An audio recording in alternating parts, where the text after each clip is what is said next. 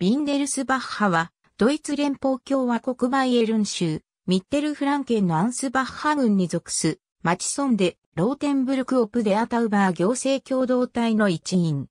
ビンデルスバッハは、フランケンヘイ自然公園内に位置する。この町は、公式には9つの地区からなる。このうち小集落や孤立農場などを除く集落を以下に列記する。ビンデルスバッハは、1241年に初めて文献上で研究される。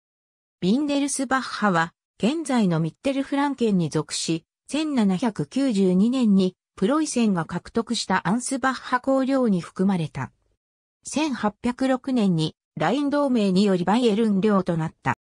バイエルン王国の行政改革の時代、1818年に現在の自治体が成立し、1978年にそれまで独立した自治体であったブルクハウゼンとカドルツホーフェンが合併した。ビンデルスバッハの町議会は、町長を含め13議席からなる。近似。斜めに置かれた銀と青の斜め体を3回繰り返す。縦が斜めに置かれている。その左角に、両側に赤いシリンダがついた青い鉢型兜。右のシリンダには小さな穴がいくつも開いている。ビンデルスバッハは、ロマンティックフランケン観光連盟に加盟している。ビンデルスバッハはアウトバーン A7 号線の近くに位置している。ありがとうございます。